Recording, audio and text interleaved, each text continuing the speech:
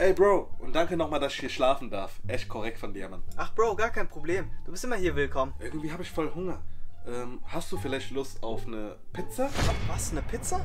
Äh, wir haben 4 Uhr morgens und alle Geschäfte haben zu. Außerdem habe ich zu Hause auch keine Pizza. Ach, was für ein Glück, dass ich mir immer eine Pizza dabei habe.